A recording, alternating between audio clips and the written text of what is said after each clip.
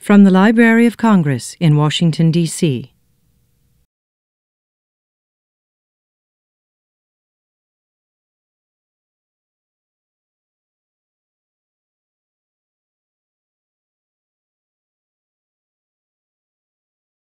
Um, hello, my name is Mary Lou Reker, and on behalf of the Library of Congress's Office of Scholarly Programs and the John W. Kluge Center, I want to welcome you to a lecture by Dr. Josep Simon entitled Ganot, King, and the Republic of Physics Readers. No cell phones, okay? All cell phones off because we don't want to catch uh, the buzz and the ring on the recording. Um, Dr. Simon holds a PhD in the history of science from the University of Leeds in England. He is a lecturer in that field at the Universitat Autónoma de Barcelona. And in 2010, he was also a recipient of the Marc Auguste Pictet Prize of the Société de Physique et d'Histoire Naturelle de Genève. Following his tenure as a John W. Kluge Fellow, he will return to the University of Paris Ouest as principal investigator with the Marie Curie postdoctoral research program that concerns textbook science. He has held other fellowships through the American Institute of Physics, the Smithsonian's Dibner Library, and the Spanish Ministry of Science. He has written book chapters for a number of volumes published by Spanish, French, and English language language publishers, and his articles may be seen in refereed journals such as Science and Education, Historia de la Educación, and Cultura Escrita y Sociedad. Here at the Kluge Center, Dr. Simon has worked on completing a book that was published this month by Pickering and Chatto Press entitled Communicating Physics. It has a much longer title, I won't read that all, but uh, communicating physics, and congratulations, Dr. Sun. Today, Josep will speak on Ganot's textbooks and the international communication of scientific information in the 19th century. In reading a little section of the book, I learned that Ganot's textbooks, which we can all learn from as writers, were considered vital largely because of their exceptional clarity, conciseness, smooth narrative, powerful syntax, and precise selection of facts. So to learn more, please help me welcome Dr. Josep Simon. And I hope you will tell us the long title. Yeah. I'll leave that with you. Uh, thank you, Mary Lou. I've been here for six months, and I, I would like to thank uh, all the workers at the Library of Congress, from the lower grades in the professional and wage scale to the top management positions, and the Kluge Center for having me during these months, its director, Carolyn Brown, and in particular, Mary Lou Reker, for her attention and competence. This talk is connected to two ongoing projects, in which I am focusing through several angles and disciplinary approaches on the study of modern science education in historical perspective. The stay as a fellow at the Kluge Center has allowed me to expand my experience in European comparative history, starting to develop expertise on another major case, such as the American. It also has helped me to break fresh ground for my future research through historiographical work and thinking. In this paper, I am going to talk about three things, textbooks, textbooks, and of course, textbooks. I will do first a brief incursion into the public discourse of the foremost authority at the Library of Congress, who happens to be also the President of the United States of America. Second, I will talk also briefly about American textbook physics in the 1950s and 1960s. Third, I will go back one century, and I will provide a quick overview of textbook physics in the 19th century, especially around the 1850s.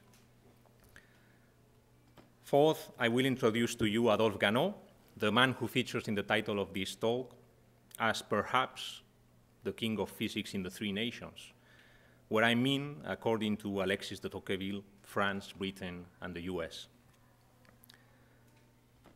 Finally, I will provide some examples on Ganot's readerships in France, England, and the US, and I will explain why it is important to take readers into account.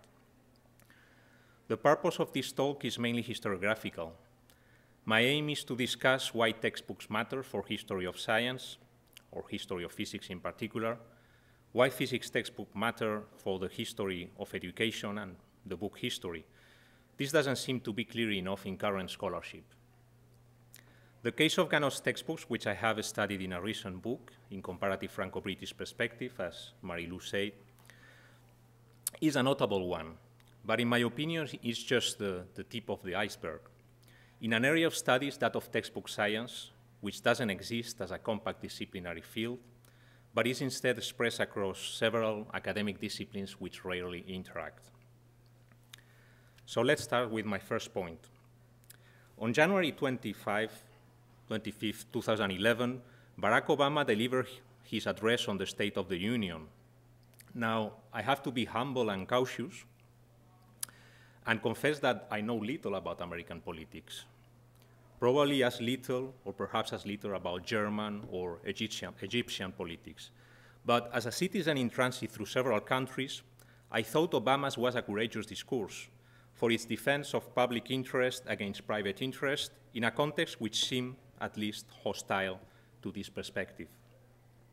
As a historian of education, Obama's discourse also pleased me because of his stress on the historical significance of science education. But I have several hats, and as a historian of science, I can also say that Obama's discourse was not original, since it followed already classical lines in political discourse.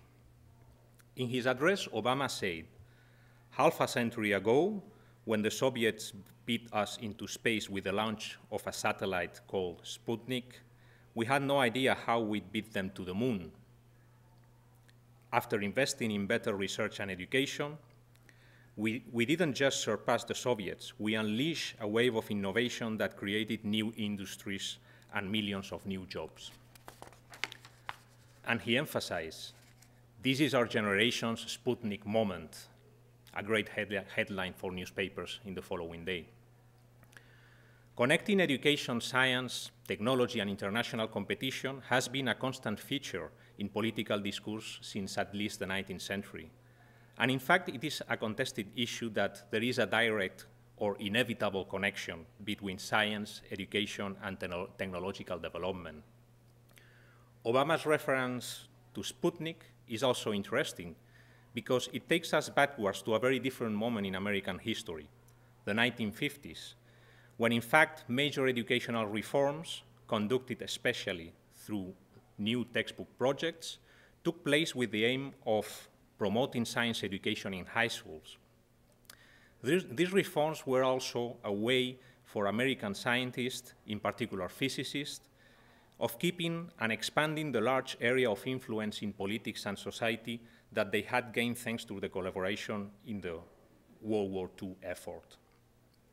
This phenomenon has been studied by John Rudolph in his excellent Science in the, Scientist in the Classroom, the Cold War Reconstruction of American Science Education.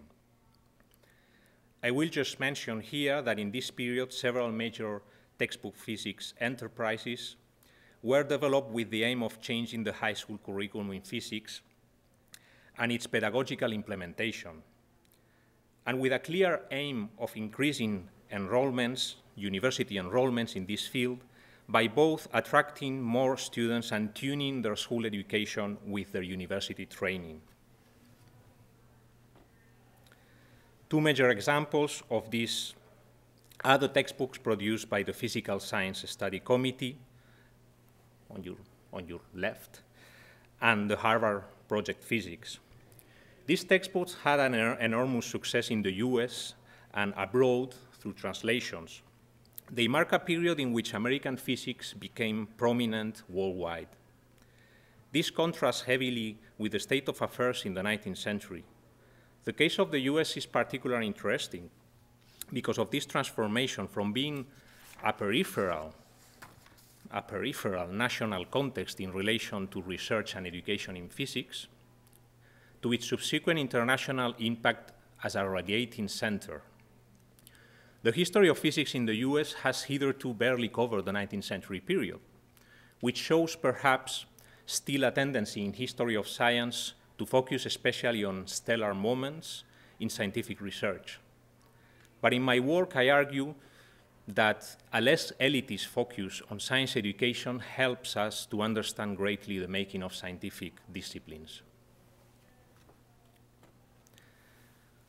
Let's have, a, let's have a look now on how were things in the 19th century. A review on physics textbooks published in 1851 by Joseph Lovering, the Harvard professor of mathematics and natural philosophy, provides us with relevant factual evidence. In this article, appearing in the North American Review, Lovering provided a wide overview on the status of physics then in America, the role of textbooks in this context, and the question of their availability. There are many interesting things in Lovering's review. The first is that he considers that textbooks are central in the development of physics and its teaching. However, he's not completely persuaded about the possibility of textbooks taking over other means of communicating physics, such as lectures and lecture notes. This is a typical attitude, which we can also find, for instance, in France between the late 18th century and early 19th century. And it is a mark showing that things were indeed changing in the pedagogy of physics. Lovering considered that textbooks had the power of fixing knowledge, but that they were not able to keep pace with the rapid developments in science, which could instead be expounded in lectures as they were being presented in conferences and journal papers. In post-revolutionary France, another teacher, Joseph Izarn, who was a teacher of physics and chemistry, considered that textbooks provided a means of progressing for students and a resource for inexperienced teachers. But he questioned the idea of a standard book to be used for all teachers, for which teacher would have liked dictating the notebooks of someone else? Neither Lovering nor Izarn could foresee fully that in fact physics textbooks will become dominant in the teaching of physics. That thanks to new techniques in printing and the book trade, they will be able to have large print runs and numerous successive editions, incorporating quickly scientific and pedagogical developments. And that textbook physics will become a lucrative international business for authors and booksellers. In fact, the dominance of science textbooks, science textbooks has been often contested, and they have not always been central. However, they are still with us, and they have had a fundamental impact for over two centuries already in the shaping of physics as a discipline and in its teaching. Going back to Lovering's review, it seems in principle surprising that he considered that neither in America nor in Britain were there appropriate physics textbooks, and that for these reasons, physicists and physics teachers had to rely on the French and German production in this field. This will be especially surprising in the case of Britain, since the historiography of physics provides this national context with a key role in the development of physics in the 19th century. But let's see how Lovering explained this state of affairs. In fact, the lack of good physics textbooks written in English was not due, in Lovering's opinion, to a lack of major research, but to the type of publications through which British practitioners had communicated it. The monographs and articles composing the series of the Cabinet Cyclopedia, the Library of Useful Knowledge, the Penny Magazine, and Encyclopedia Metropolitana, all major publication series of, of international renown in this period, had many qualities, but they didn't have those required by a textbook. They, like, they lack unity of thought, comprehensiveness, and up-to-dateness. And their subject arrangement, narrative, rhetoric, and expositive focus made them inadequate to communicate efficiently physics to students, being often too academic or too popular. There were a few physics textbooks published in English, but they were, according to Lovering, inadequate, as they were written mainly by medical practitioners and addressed to medical students. This was in contrast to the rich French and German textbook physics tradition, which, according to Lovering, would, count, could count already with a large number of exemplary authors, such as the French Pouillet, Peclet, Pinaud, Becquerel, Despretz, Regnault, and Lamé, and the German Müller and Peschel. As you see, it doesn't seem that it was so easy to, to produce a good physics textbook. Actually, this was closely connected to the development of second, secondary education in national perspective in the 19th century.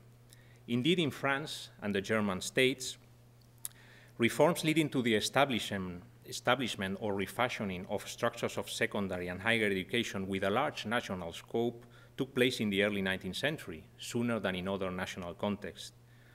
In the same period, the development of physics as a discipline was boosted by its inclusion in secondary education curricula. These educational developments went hand in hand with the production of textbooks, which in many cases had a foundational role and were powerful tools to establish, shape, and standardize pedagogy and physics. A key textbook, author in the French context is Adolphe Ganot, a French private teacher, alien to the French scientific elite, who published two physics textbooks which became standard introductions to physics worldwide. Ganot published his first textbook in 1851, the same year as Lovering's Alarmist Review. The success of the book made it have large print runs and almost an edition per year or every two years. Here you have the title page of the Traité, and you can see the, the huge number of editions that the Traité had. The Traité was a book connected to Adolphe Ganot's teaching in his school in Paris, where he was mainly preparing students for an examination which governed science and education in, in this period, which was the baccalaureate science. Uh, and he published another book, the Cours de Physique, uh, targeting a more open market of general readers and, and, and popular science, but also, for instance, primary school teachers which had also a great number of editions over a long period. In 1880, the 18 edition, the 18 edition of Ganot's Traité had a print run of 20,000 copies. By this year, Ganot had sold already more than 200,000 copies of his Traité and more than 60,000 copies of his Cours. Furthermore, both books were translated into many languages You can see here the title page of, of the Cours de Physique. And you can see here, for instance, the English translation published in London by a French publisher, Baillière, and the translation published by Longmans in London, Longmans, which was in the 19th century the, the most important publisher in every field in, in England.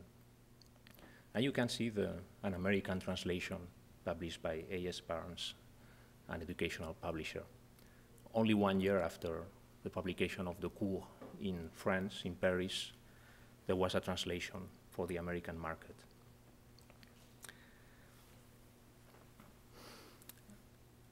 You, I, you have seen how many copies, and, and it is, there is not a lot of work on print runs in the case of science textbooks, but the number of copies published by and sold by Ganot is, is impressive and, and looking a bit at other type of books, it's, uh, there are few books which really surpass this type of print runs and, and, and global number of copies.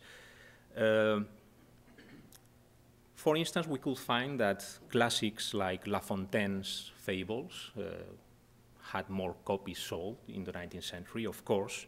We can find also uh, fiction like Jules Verne's novels, very popular in the period, who had higher print runs, or uh, extremely successful popular science book like uh, Camille Flammarion's Popular Astronomy, who had a, an average number of copies similar to Ganot's textbook. So it is really impressive. On the other hand, uh, concerning print runs, the, the British or English uh, translations of Ganot's textbooks had a lower uh, number of uh, ed editions and, and, print runs than, than the French ones. But in any case, uh, they sold much more copies than science classics, which uh, have received far more attention, such as Robert Chambers' Vestiges of the Natural History of Creation, or even Charles Darwin's Origins of Species, just to give you a bit of a comparative view. And you can see the impressive number of translations. It was usual for physics, for French physics, to be translated in the 19th century, but probably not to that extent. We have 12 translations for the traité and a lower number, but still a considerable one in, uh, for, for, the case of the Cours. And it is quite interesting, the, the most important translations in terms of, of editions and numbers uh, were the, the, translation, the translations into Spanish and into English.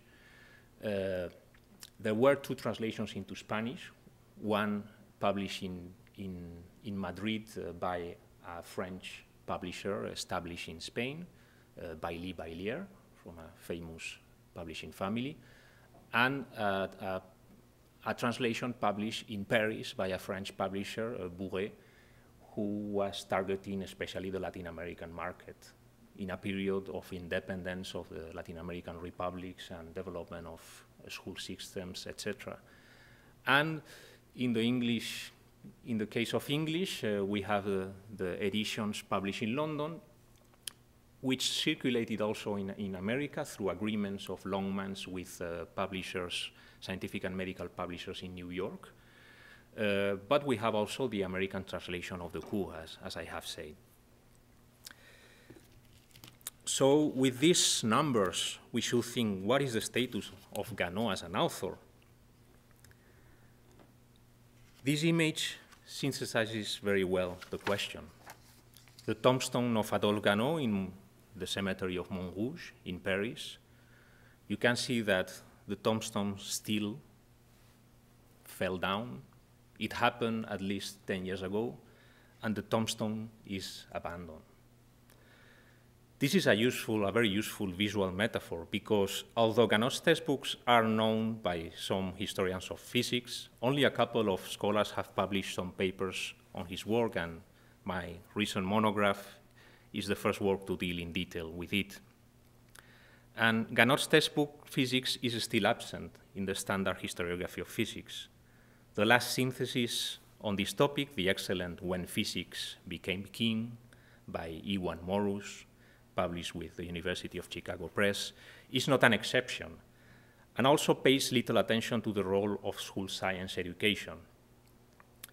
This is where the key question lies, the role of science education and how it is considered within history of science. Ganot is a nobody among a large, a large body of nobodies who devoted their professional life to write science textbooks. This is in contrast to the international success and cross-cultural penetration that Ganot's physics had in the 19th century. See, for instance, uh, an illustration of how Ganot's physics was received in England. And this is just an example among an incredibly large number of reviews. As you can see, the publication of Ganot's textbook was connected in fundamental ways to the development of a scientific discipline such as physics, which was expanding in secondary education, especially. You have to think that, that there were not even one PhD student in physics per year in France or, or, or in England in this period. I mean, the, the discipline was very small. I mean, maybe didn't exist yet. I mean, there were very few students in universities studying physics, but the secondary education market was something different, and, and physics had a place there, and, and it was expanding, and its publics were expanding. So, as we can see, for this, the case of England, there was a demand created by the development of a new type of educational framework in which France and Germany created earlier than other countries an economy an educational economy and an economy of the book trade linked to this educational economy. But it is not completely true that there were no physics textbooks in Britain and the US. Just that, on the one hand, Available textbooks were not adequate for the new pedagogical framework, as we have seen, according to Lovering. That British and American teachers did not often have the required experience to prepare those type of textbooks. And on the other, that they were not able to compete with French textbook products, which were sold and translated in their countries.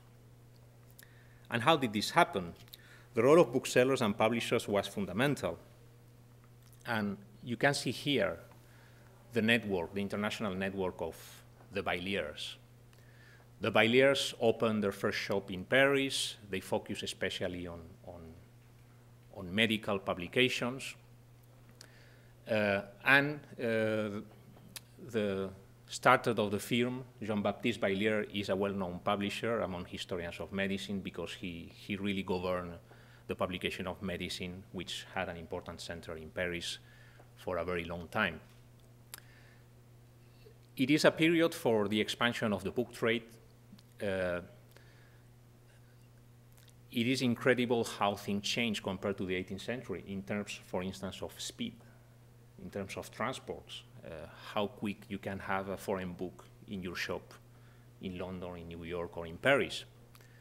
And the French had a leadership in this field. Because of cultural aspects, the, the still importance of French as a language, a language known by every bookseller in the world, uh, but also for any economical reasons, as it happens usually, and, and it's, it's uh, even based on a, on a classic 19th century economical theory, even if I'm not an expert. French publishers went abroad because they fear bankruptcy caused by overproduction. And there were a few important crises uh, in the first half of the 19th century where major publishers in, in Paris or in London went bankrupt. And a way of avoiding it was to take the reminders out of the country and try to sell them somewhere else. But this evolved into, into other things.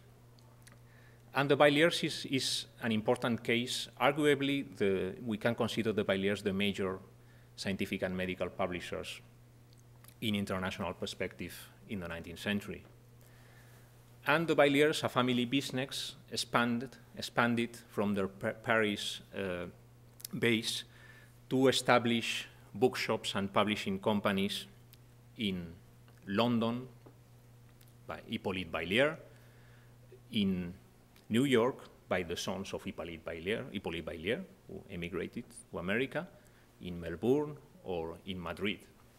Uh, the Baillières had a major role in the introduction of Ganot's physics in England and subsequently in, in America. And they published the translation, the publishing uh, in, in English in London, and they published also the Spanish translation in Madrid. Uh, on the other hand, uh, as I have said, uh, the English translation of Ganot's textbooks was taken over uh, by Longmans, the major British publisher in, in this period, because of unforeseen circumstances, but Hippolyte Baillière uh, died young, and, and so the business was closed and, and, and the network was reduced a little bit. Uh, and Longmans had also important connections or started to develop important connections, international connections in this period. So they sold a part of the, of the print run of the, the treatise and the natural philosophy, the two translations of Ganot's textbooks in, in English, uh, in America through New York, agreements with New York, and also in India. And I'm not going to talk a lot really about this, but we have to think also about the developing book enterprise in America, where we start to see how publishers emerge who is specializing in the school textbook market. Uh, a school market which developed early because in contrast to to Britain, uh, America, uh, the US developed a network of schools uh, quite early. It is, it is a, an early phenomenon in the US. And we can see publishers like Alfred Smith Barnes, based in New York, who, for instance, around the 1840s starts a series called the National Series of Standard School Books, in which the translation of Ganot's in, for the American market is published.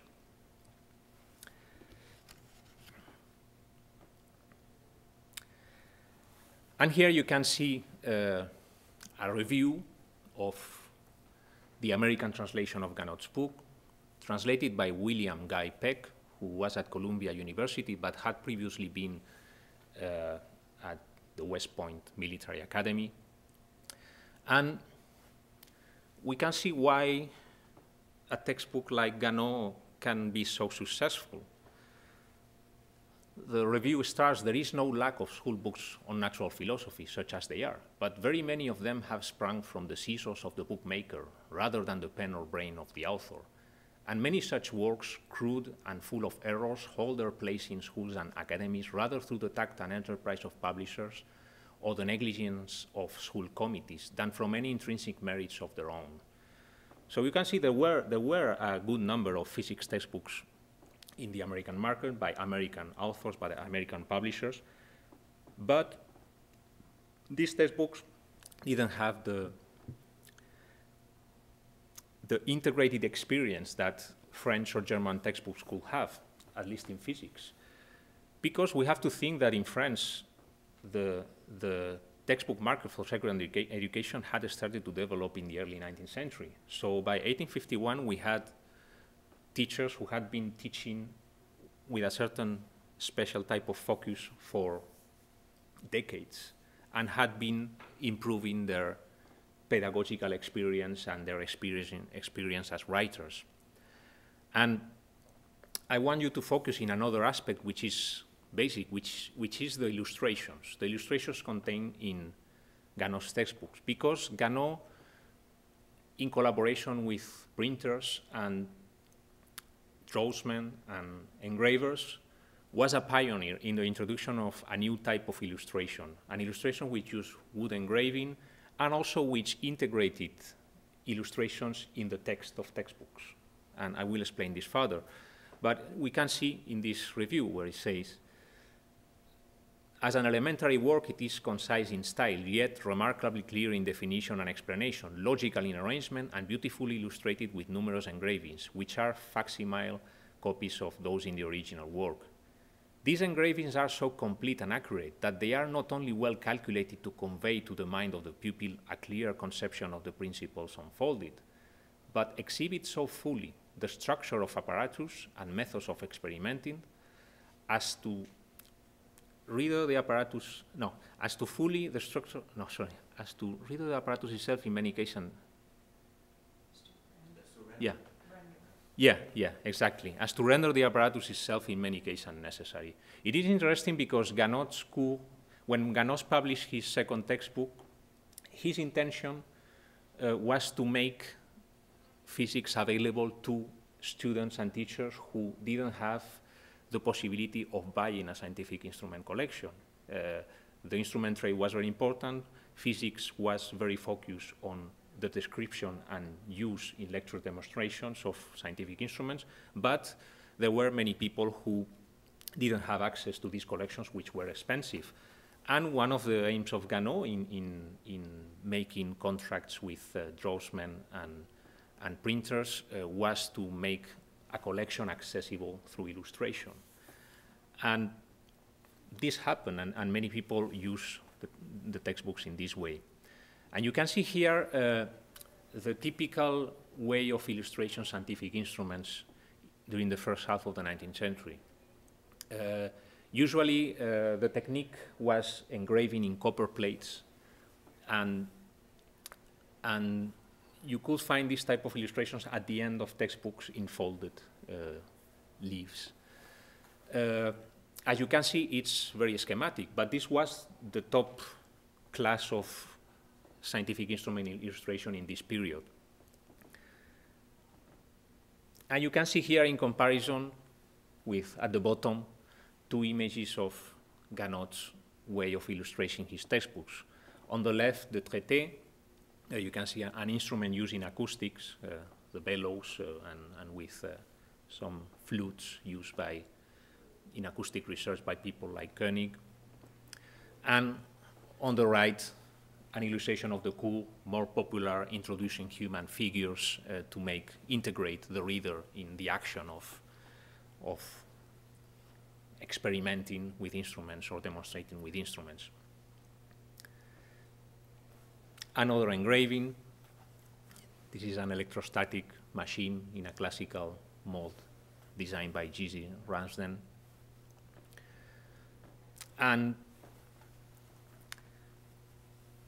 as I say, uh, this uh, had a major impact, a major impact in the success of, of the books, uh, but also, as we will see later, uh, this was not just for decoration or to make attractive the books. These engravings had important uses, and there is a lot of knowledge integrated in these illustrations. The only thing is that we have a different visual culture now and different types of expertises, and, and, and it's not easy to read them. But there were, for instance, draftsmen involved in Ganot's textbook projects who had also secret, so to say, commissions by uh, Parisian businessmen to do uh, espionage in some of the international exhibitions happening in Paris.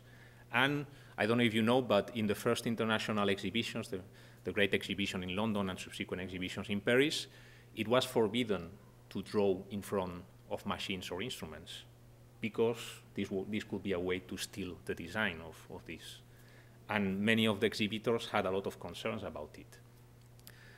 And one of Ganot's draftsmen had the mission of going to the international exhibition and draw some of the exhibits.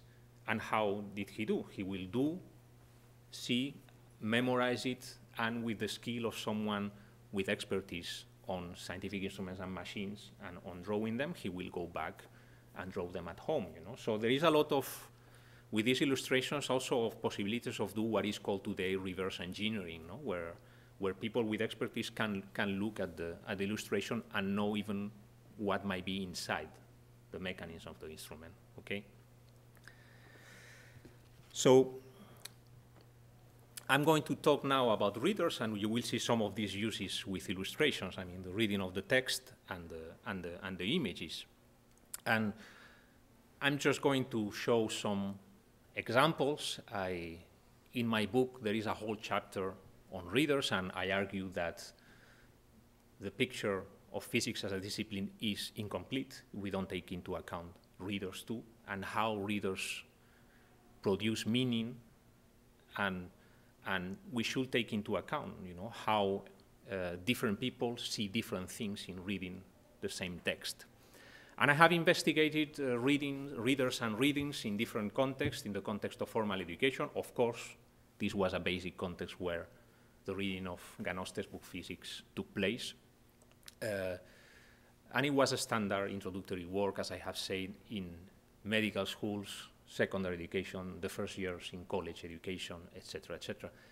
In formal education, for instance, courses for artisans or workers, general reading, literary journals, novels, etc., but also, as we will see, in research.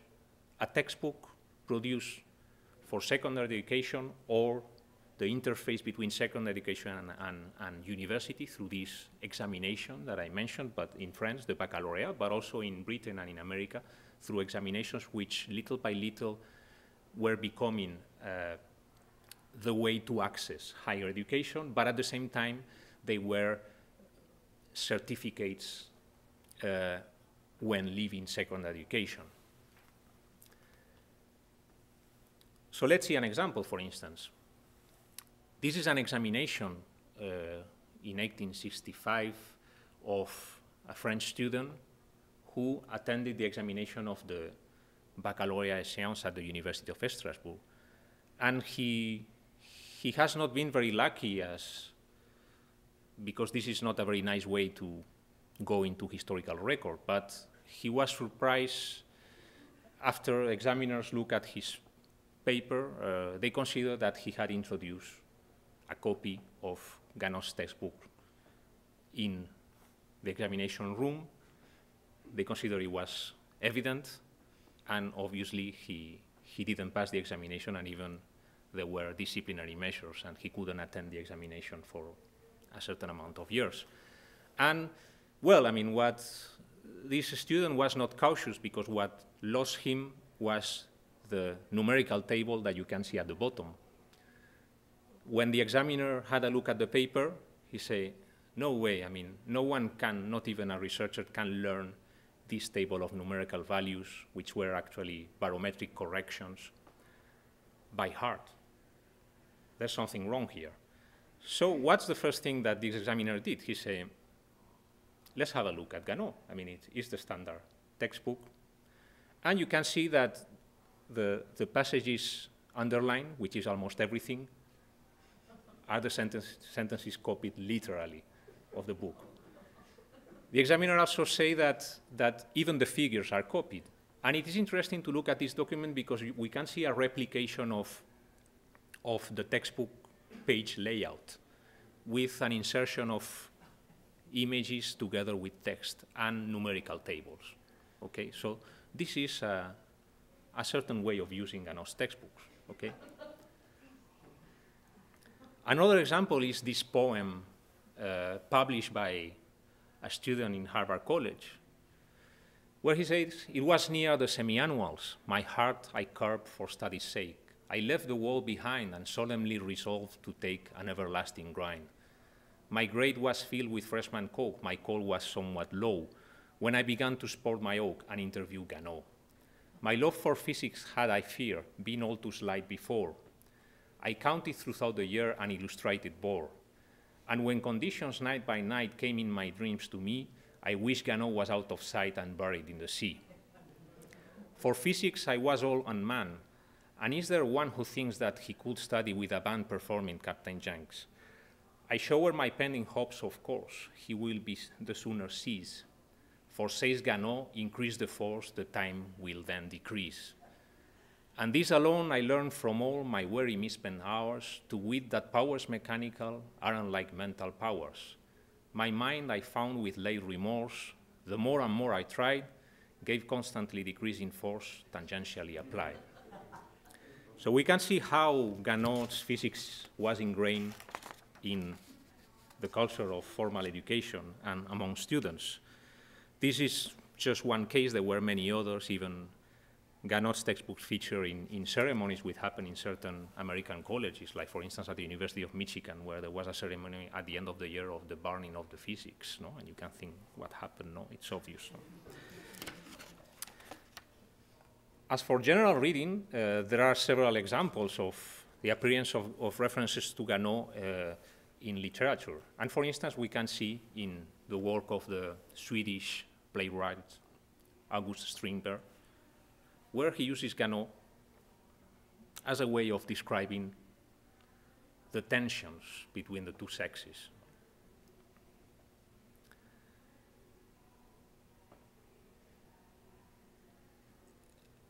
As we can see, there is a kind of love and hate relation no, going on with Ganot, which means that his physics was loved by many people, I guess.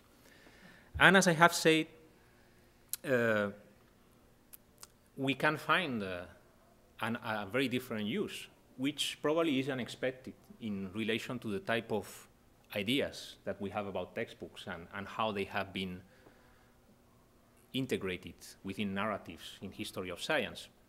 And this is an example by Professor William Thomson, also known as Lord Kelvin, where he's writing to a colleague, Thomas Andrews, in, a chemist in Belfast, and they are discussing uh, information about apparatus for the use of uh, lighting in, in lighthouses in, in particular, which was a topical field of technological development in this period. And William Thomson offers different pieces of information. One of them are notes that he has taken, taken while attending an international exhibitions and he, exhibition, and he saw a, a, particular machine, and he took notes as a, an expert engineer with a, a, very detailed description, as you can see, of the number of bobbins, uh, their dimension, etc. And another one is addressing his colleague to an illustration in Ganot's physics. Okay, so we can see the power of these illustrations for reference on technological development in this period. Uh, there are other examples, like for instance, the, engine, the British engineer Sebastian de Ferranti, who was a very successful businessman in the development of uh, electrical measure instruments. Uh, he used some of the diagrams in, in Ganot as an inspiration for the basic structure or mechanism of his electrical measurement apparatus. Or there is also the case in France of Zenobe Gramme, which was Belgian, but emigrated to Paris to work and was almost illiterate. Uh, he's known as, as one of the inventors of the dynamo, dynamo. And apparently, uh, even if it probably is, it's a bit exaggerated like in any uh, inventor's biography, but, uh, but they say that uh, he only had two books, a French dictionary and Ganot's traité. Okay we have also examples in the, in the American case, and for instance, in the notebooks of Thomas Edison, we can find references to Ganot. You can see here the, the machine in particular, which was an engraving taken in a workshop uh, uh, very soon after this instrument uh, was, this apparatus was work, was uh, invented and put into practice. And as I was saying, in the American case, we have also the case of William Graham Bell, where he makes reference towards the bottom of the page uh, of Ganot's physics uh, in relation to data. You remember the table in, in the student examination, in relation to data about the gravity of certain materials, where he's investigating flight technologies and, and, and he needs data about the, the weights, to calculate data about the weights of different materials for Uh, his prototypes, which are basically different types of kites. So we can see that that this textbook was also, was also used in research, and that textbooks can be used in research, no? which might be surprising. And I am going to end my talk with the same quotation with which I started it in silence. There is in principle no, not, no direct connection between this quotation from a novel by the Spanish writer Pío Baroja and Ganot's physics. Pío Baroja was our Spanish writer of the 98th generation, and he reflects quite a lot in his novels about science. Baroja, even if there is not a direct connection, Baroja was once a high, a high school student, like all of you. And he had good and bad memories from his science education at school, like you. And it is very likely that he encountered Ganot's textbooks in his school physics classics, since it was such a standard textbook in this time. As the title of Iwan Morus' book, When Physics Became King, which I have mentioned, indicates, indeed, in the 19th century, physics became king this was a key period, period for its establishment as a discipline, and it made so and became very much the paradigm for science in the 20th century, based on scientific prestige, but also, among other things, its technological applications, and notably its applications to war. But I am not going to moralize here like Baroja does in his work. However, as a historian, it is worth to discuss if physics really needs a king of physics. Pierre-Simon Laplace, Lord Kelvin, James Clerk Maxwell, Hermann Helmholtz, Adolphe Ganot. Political narratives have often a logic which emphasizes heroes, inventors, and origins. Fair enough, if everyone is happy with this. But the history of science, and in particular the history of physics, can go much further. as it has today the tools of a sophisticated, sophisticated field of inquiry. Perhaps it is more relevant to consider physics as a republic, a republic of practitioners and authors, among which textbook authors, who are often mainly teachers, writers, and readers. And why not making another step forward and consider physics as a republic of readers? Readers who in general are nobodies and do not appear in standard histories, but who can tell us a lot about physics as a discipline and about its status in culture and society. Thank you.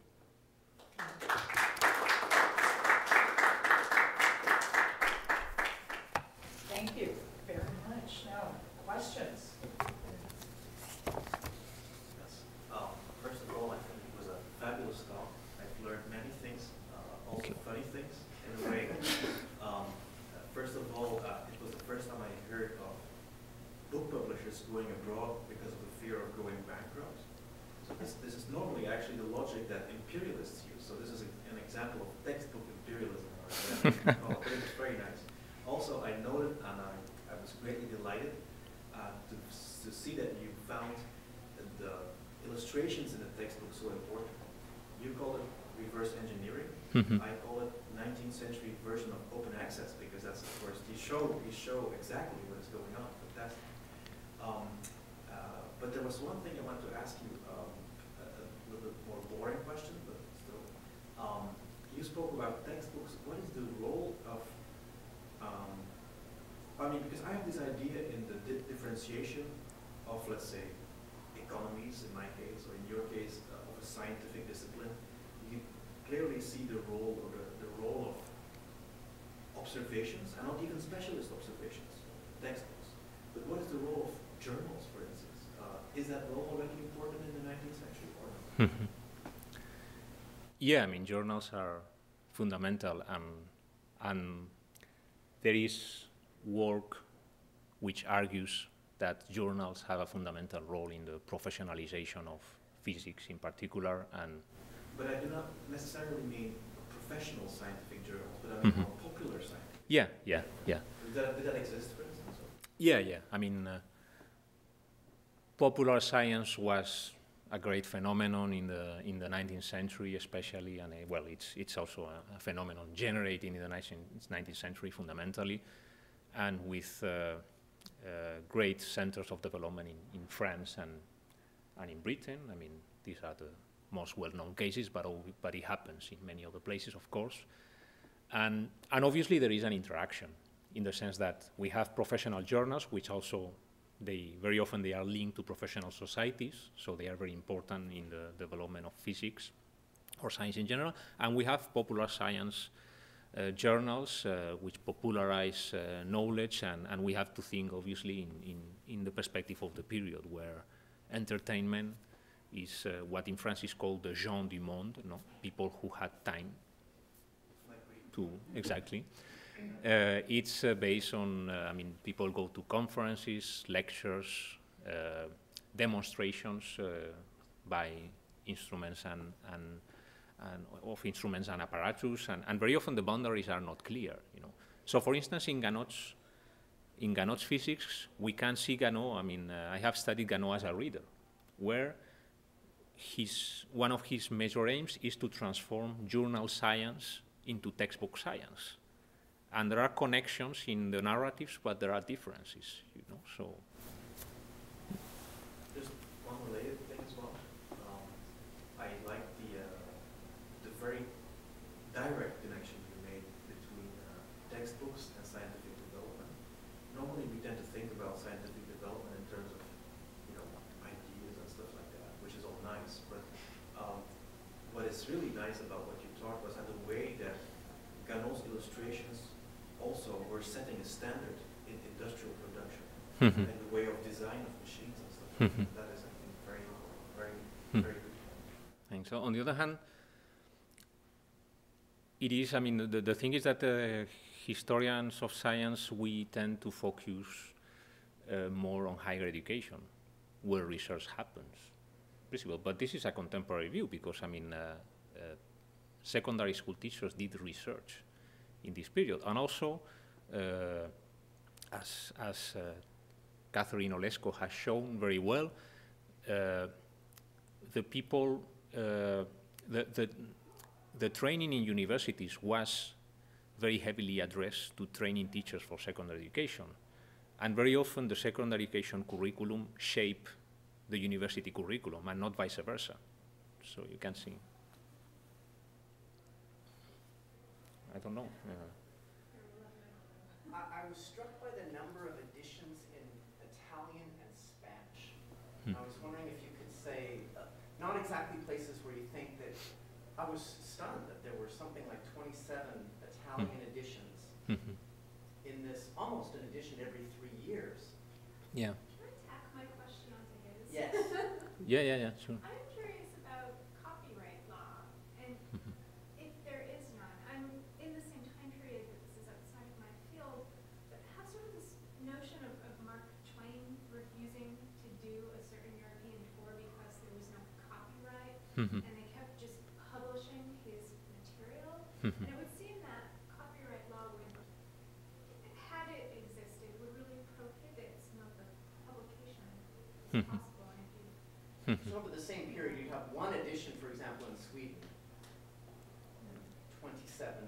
Yeah.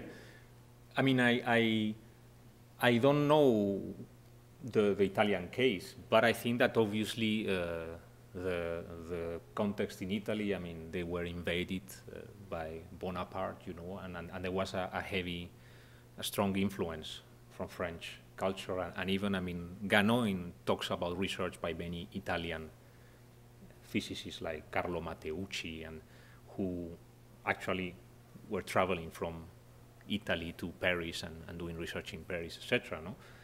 So I can imagine that the, the Italian context had a, a, a, a development in secondary education which was connected with a French influence, no? and that they needed textbooks and there was a, a, a fluid communication no? between them. But you find many types of things, you know, because uh, I have not mentioned, but textbook translations are very different to literary translations because a teacher needs a text to teach his class.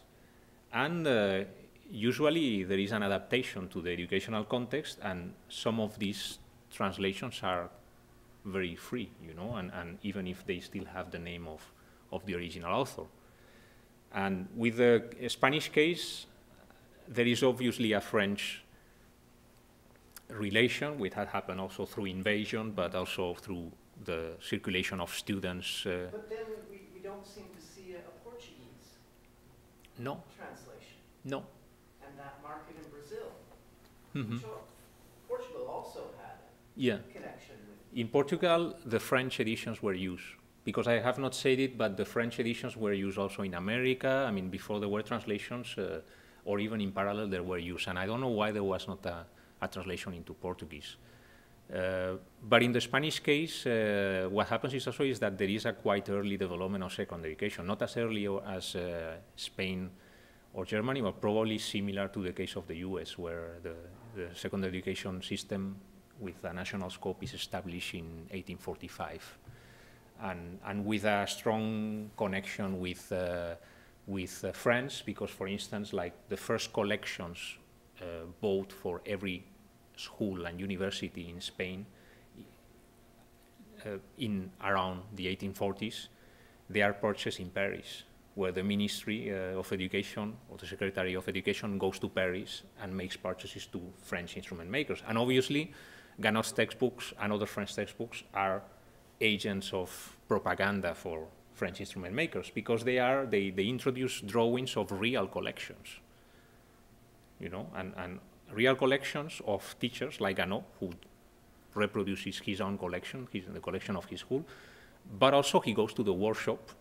And you have to think that it's, it's Paris, but even it's, it's a tiny space, the, the Latin quarter or neighborhood in Paris, where you have a, an, a, a dynamic system of publishers, instrument makers, teachers, researchers, and it's a very competitive world in, in just a few streets around, the, especially the, the Faculty of Medicine and the, the Polytechnic School. No? And concerning copyright, I have not investigated it in detail, but there are no, there is no international law of copyright. There are certain agreements between different countries. And in general, these agreements, for instance, the agreement uh, between Britain and France, is uh, that you need to deposit a copy of your book in a national library, whether the, the French or the British, and that this uh, secures even the author is obliged, like, I mean, copyright agreements today, no? But for instance, there are some reviewers uh, for the American case where they say that even foreign textbooks are promoted in America more uh, than, than you should expect because it's a way for, of getting them for free for American publishers. They just can take them, you know, and, and they don't pay anything. It doesn't happen with Ganot uh, in the American case because uh, there are agreements uh, uh with the, the editions published in London. Uh, they are they are just sent to America, and there are two publishers who just change the title page to have their name, but it's an agreement with the London publisher. Another interesting thing to finish is that uh, the illustrations have also an entity or an identity which is very strong and comparable to text because there is a separate copyright of the illustrations and of the text. And Ganot sometimes sells his illustrations but not his text. And there are authors who use the illustrations and they write a different book. So this is uh, quite interesting. Mm -hmm. So thank you for, for the really interesting talk. So I'm, I'm I'm really interested in the way that you talk about the sort of republic of readers and Ganot as a potential king, which I take to be a way that you're addressing the issue of authority in pedagogy, right, or, or in um, educational and intellectual enterprise. Um, and in particular, it's that review from the New Englander from, from maybe the 1860s that I'm interested in, where it says um, the textbook's so good that um, you won't even have to do the experiments for yourself. Just look at the pictures, which I'm wondering how you hear that. Is that a is that a sign that there's a certain um, populism or democratization of education going on here, or and it doesn't necessarily mm -hmm. have to be either or, I suppose, or is it a sign that um, people are uh, stopping doing experiments on their own and are now relying more heavily on a textbook to sort of tell them what what to do? Mm -hmm. Yeah, I mean the usual approach in history of science will be to tell, oh, this is just a sign of what we already knew. You know, textbooks are dogmatic and creative, and bookish science is not really science. And this might have happened, as I say, people who didn't have access to these instruments, maybe they, they studied just with illustrations. But on the other hand, it is interesting that I didn't mention, but it is also quite usual to find uh, letters to the editor in journals where teachers, they write, and they write to, to indicate that there are certain uh, mistakes or errors in Ganot's textbooks. And very often this involves repeating the experiments. Who, they are not always rocket science experiments. I mean, some of them are mainly demonstrative, but there are all others which are historical experiments or experiments which happened in the previous years. But you can see how the teachers have performed the experiment described with engravings and text. They have realized that there was a problem and, an error, and they get back to, so, so you can see that the book also promotes uh, this engagement with experiment. I mean, it's not just bookish. And the interesting thing, and, and I, I take in part my idea of this republic uh, from there, is that even if they are indicating errors, they don't criticize Ganot's physics. They say that Ganot's physics is a great book and that they are just sending these letters in order to improve it even more, which shows you that Ganot's physics becomes a collective heritage, you know, and every teacher and reader is proud of it and want to improve it, you know, and you have this collective of, of readers, teachers, and textbook authors who are, and students who make this republic, no? Uh, there was there was another maybe. I think this, this does canvas. I think your our last question. Um, just I think part of the situation with textbooks and with reading in schools is that there's a sort of enforced element of reading things the right way or in a prescribed way. And I he gave an example of this student who clearly read things the wrong way and as a result flunked their exam. uh, are there ancillary materials that are talking about the way to teach? or other kinds of, here, you know, a teacher writing in and saying, here was my experience, here's some advice, or any of those things, talking about prescribing reading. Yeah. I have not found many direct sources because uh, Ganot is an unknown character, so I mean there are no notebooks. I mean the image of his tombstone is the and his textbooks is the closest we can get to him, and, and, and records about maybe the, the premises that his school had in Paris. So it's it's incredibly difficult, and you probably know how difficult it is to find these lecture notes or student notes, etc that when I found this examination, it was like a miracle, you know, after being, I mean, and I was very happy because I, say, I had an hypothesis and it worked, you know, like history exists, you know, as a discipline, you know, and, but, uh, but I have tried to cover this uh, problem uh, with, uh, by checking uh, student guides. And, and, and there is, a, I found for the French and British case, uh, student guides which were addressed, addressed to the type of students which will uh, go to certain examinations and use Ganot. And, and, with all the evidence, I could kind of close the, the question. And they, they are giving very clear indications about how to use uh, textbooks uh, uh, to prepare for examinations. So there are indications about when to read them, even like saying, don't read them in the evening, don't go to the library where they have journals because it's a distraction, but also besides these kind of funny aspects, uh, more specific things about uh, how to proceed. If reading first a passage, then trying to repeat the, the experiments, uh, then you know, like going back home, trying to write about the topic and things like that. So, thank you. I think we're going to have to wrap it up now. Hmm. Uh, but since I can have the last word, I have to tell you that when you did put up your first slide with the two American physics books and the one with the bouncing ball on the left. The last time I saw that book, I left it on the black slate uh, physics classroom desk in my high school physics class. Really? I haven't seen it since then, but I recognized it instantly. That's amazing, so yeah. Thank you. Yeah, yeah. thanks, thanks.